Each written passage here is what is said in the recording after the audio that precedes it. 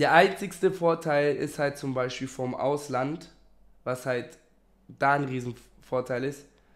Äh, da geht mir halt in Anführungszeichen keiner auf den Sack, ne? Da habe ich halt nicht diesen Medienrummel, diese Bewertung anhand meiner Person, was ich neben meinem Platz mache. Das sind so Punkte, die, die mental einen sehr, sehr, sehr krass mitnehmen. Das sind, das sind Punkte, wo ich sage, da knallt es ab und zu rein.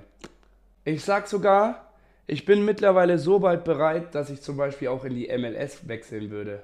Willi vs. Messi. Stimmt, Messi ist bei äh, Miami. Yeah, yeah, yeah.